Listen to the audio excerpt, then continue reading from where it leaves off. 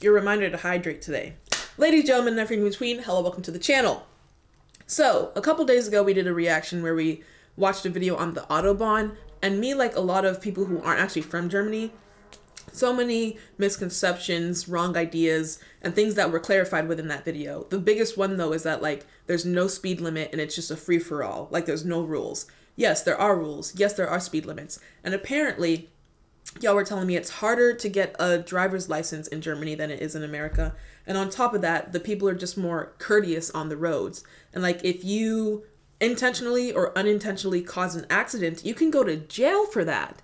So I'm like, wait a minute. When I hear Autobahn, I think motor speedway, Bugatti flying 120,000 miles per hour next to like a Porsche and Lamborghini and all that, but that's not the case. So today what we're doing is actually checking out what it's like to actually be driving on the Autobahn and seeing like a real perspective of actually being on the road. Like we learned about what the Autobahn is, why it was made for military purposes, but now let's see how it is used today in practical life. So if you're ready for that, subscribe, like the video, follow me on Instagram, help me get to 10K, and here we go into what the German Autobahn is actually really like.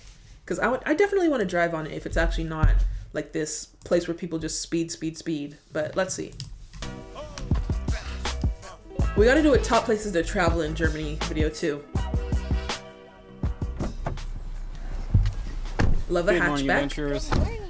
We are continuing the next day of our awesome German road trip. Yeah. We are in. We're leaving Dresden right now. We're going to head over to a town called Goslar. Is that Goslar, right? That's yeah. another thing. Whenever people talk about Germany, all you really hear is Berlin, Munich. But it's a whole country. Like there's countryside, I'm sure. There's like beautiful architecture. There's so much more places, which is why I want to do like the travel video, top places to visit. It's some little tiny town. We just Dresden. I did an Airbnb search and there was a home available there that was affordable, and Yeah. then the town ended up looking adorable. So it's all working out. Yeah, part of our Adorable goal with this trip is to just explore more of the countryside. and small Exactly. We're what I trying to stay away from the big towns. We're actually staying Not the like way touristy outside stuff. of Dresden in this place anyway, so we're not really in the city center. No, but we are about to go mm. to the city center. I found a place for breakfast. I think it, it's called the California California. Kitchen or something like Breakfast that. California Germany? Breakfast Club. Yeah. And you guys know we're from California, and these people are from I think pretty close to where we're from in San Francisco. Oh, but it's a they foreigner started these restaurants restaurant. here, so Cool. the food looks pretty amazing. So we're gonna see if it's anything like home. But even then, if I'm gonna be in a foreign country, I'm going all out. I am, you know, eating the food that's local. I am listening to the music that's local. I'm diving into like why would I go to Germany just to go to McDonald's, you know? But then again, I guess the McDonald's there may have different stuff than American McDonald's, so let me just shut up. Maybe they're valid in checking out German food, American food in Germany. Maybe it's different. Let's see.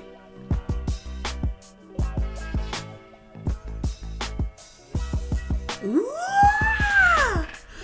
Y'all know I'm an architecture girl. We're in this really Oh. cool part of town that has a bunch of interesting street art and a bunch of little shops, and it seems really hip. It's called uh, Ernie? News. Sesame Street. Y'all watch Sesame Street in Germany? That's another video we could do. Y'all's childhood shows. What about Elmo? Y'all know Elmo? Called uh, Aussier Neustadt, I think. I see your but new stuff. It's pretty cool. If we had more time, we would definitely spend some more time around here. But the restaurant should be right over here. Our graffiti is just like gang stuff. Y'all's is art. Straight kitty.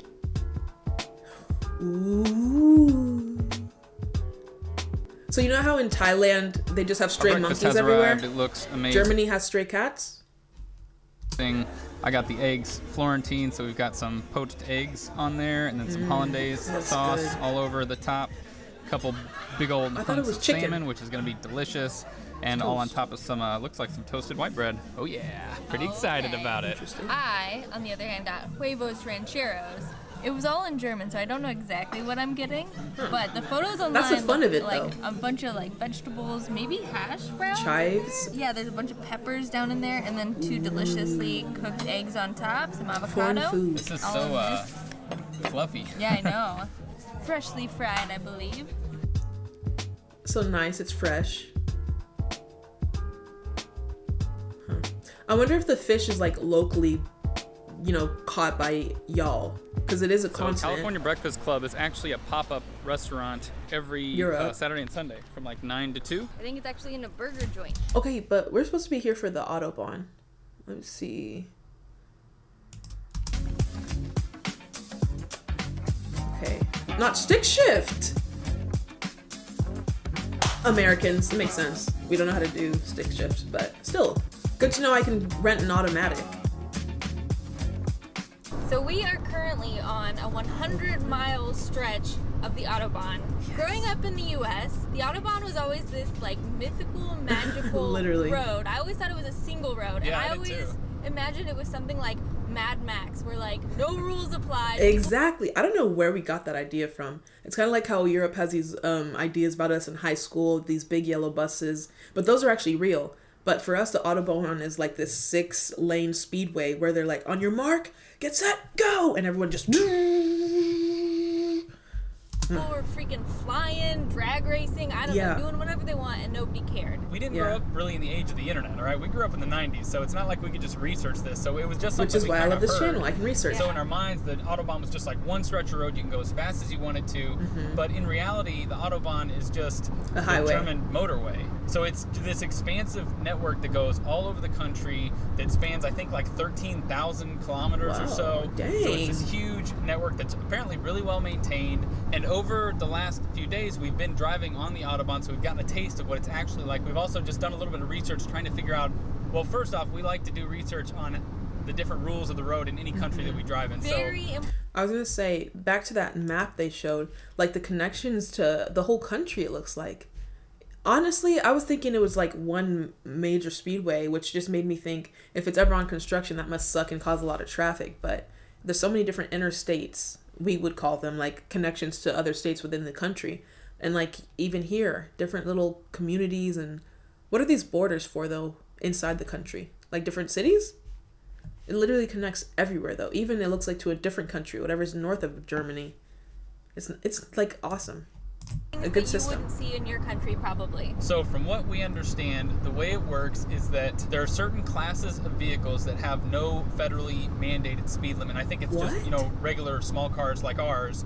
And then as the vehicles get bigger, they have specific ah. speeds that they're supposed to drive. Okay. There are posted speed limits. I thought he was talking about like the price tag. Like, like if you have a Bugatti, you can drive as fast as you want. But if you're in like a Toyota or a what do y'all that Lion car with or the Diamond Renault, I think it's called. If you're in a Renault car, then you have to go whatever like sixty or seventy. limits on a lot Obviously, of I'm speaking miles per hour. that you have to abide by and uh, a lot of a lot of the speed limits are in obviously construction zones so those will change in you know built up How's traffic with the areas you're construction? going through a town you're going to see a speed limit sign so you and everyone will just immediately slow down when they when they get to that sign from what we understand there is still i think i read it was like still 50% of the autobahn is just um unregulated speed speed no speed limits what we Oh, also so it learned is is still that there's low. what's called an advisory speed limit and it's one 130 kilometers per hour so that's what you Isn't that like ninety miles per hour though?